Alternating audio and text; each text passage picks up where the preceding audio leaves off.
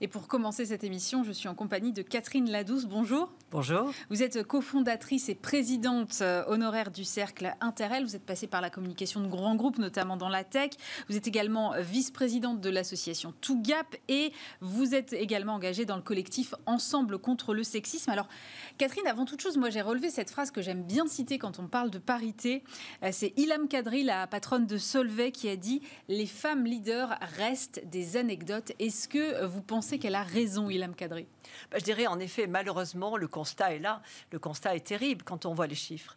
On a une seule femme dans les, en tant que patronne chez, chez Angie, donc dans les sociétés du, CAC 40. Si vous prenez SBS 120, vous avez 9, 9 à 10 femmes.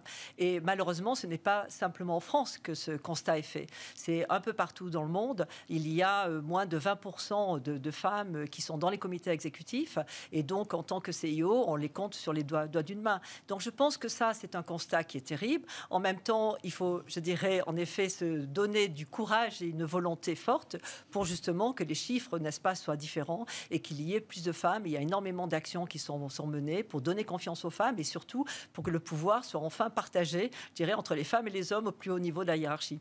Et c'est vrai qu'en France, on a fêté il n'y a pas si longtemps que ça les 10 ans de la loi Copé-Zimmermann euh, qui ont fait bouger les choses quand même au sein du, des conseils d'administration.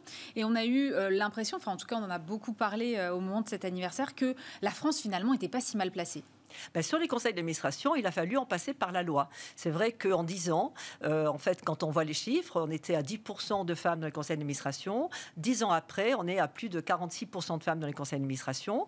Alors certes, après, on va dire, bah oui, mais dans, les conseils, on, retrouve la DIRCOM, on retrouve la DRH, la personne en charge des finances. Certes, une analyse plus fine, se dire que tout n'est pas gagné, mais c'est vrai que la France aujourd'hui est championne, je dirais, est en tête des pays européens. Donc ce qui prouve que, en fait, il y a une volonté politique, il y a eu la contrainte de, la loi qui a obligé les entreprises à se mettre en ordre de marche. Mais au-delà de la contrainte, c'est qu'il y a une prise de conscience aussi forte euh, de l'intérêt d'avoir en effet la parité. Et tous les chiffres aujourd'hui le prouvent, toutes les études qui ont été faites de l'OCDE, de McKinsey, qui montrent que la mixité et la parité riment avec performance, avec compétitivité, avec attractivité. Et du coup, je dirais cette conjugaison de tous ces signaux verts ont fait que au niveau des conseils d'administration, aujourd'hui, je dirais qu'on peut continuer à être relativement satisfait et donc à continuer aussi la bataille pour justement que ce ne soit pas toujours les mêmes femmes aussi qui soient au conseil, donc pour diversifier à la fois les talents. Mais maintenant, c'est la, deuxième bataille, c'est au niveau des comités exécutifs. Oui, alors au niveau des COMEX et des CODIR, justement, il y a une proposition de loi là, qui vise à imposer d'ici à 2030 40% de femmes euh, dans les instances dirigeantes des grandes entreprises.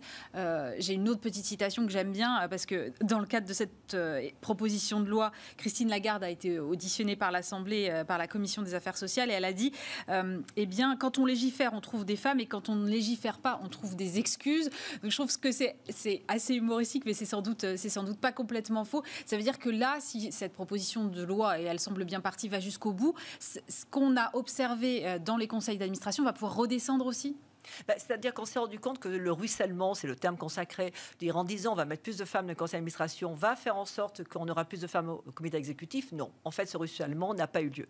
Donc, il faut en repasser par la loi. Donc, cette proposition de loi sur lesquelles vraiment je félicite euh, Marie-Pierre Rixin et puis toute son équipe, euh, évidemment, euh, de pouvoir, d'avoir fait adopter cette loi, donc à l'Assemblée nationale, qui est fortement soutenue par le gouvernement, mm. par, par les ministres actuels. Mais ceci étant, maintenant, elle doit être en lecture au Sénat. Et même si les objectifs, on peut dire, sont finalement, est-ce qu'ils sont très, très ambitieux hein C'est 30% de femmes en, en, 5 ans et 40% en 8 ans. Bon, euh, on, aimerait, on n'est pas encore à la parité. Hein. il va falloir encore être un peu plus patiente. Mais ceci étant, je dirais, on ouvre la porte et ça permet de, dirais, d'avoir une incitation et la loi a, un rôle très important parce que c'est une contrainte, mais, mais, mais c'est aussi, je dirais, un outil qui va inciter les entreprises à prendre conscience de la réalité, je dirais, de la situation où nous sommes, où en fait on est complètement en déséquilibre par rapport à la société, hein, puisqu'on est 52% de femmes, et en fait quand on regarde qui a le pouvoir, ben, c'est quand même détenu en, majorité par les hommes. Et surtout, au-delà de l'équité, comme dit notre ministre Elisabeth Moreno, la, parité, ce n'est pas la charité, mais c'est vraiment une question d'attractivité, de compétitivité, de performance, et de bien-être aussi des salariés, pour se retrouver avec une équipe, je dirais, qui représente euh, l'humanité. Et, et, du coup, je pense que cette loi, nous, nous sommes tous les réseaux féminins sont, je dirais, derrière Marie-Pierre Rixin et espérons que cette loi sera adoptée parce que ce sera un signe fort que maintenant on passe au niveau des comités exécutifs et on pense, on a l'espoir qu'en effet certaines entreprises vont même faire mieux.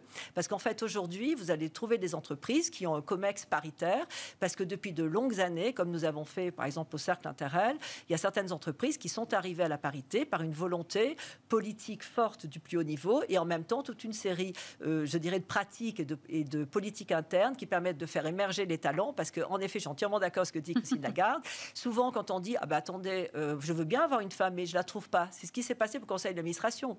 Ce qu'il faut, c'est chercher les femmes parce qu'elles sont là, mais simplement il faut leur donner confiance et puis que surtout les hommes qui détiennent le pouvoir nous fassent confiance.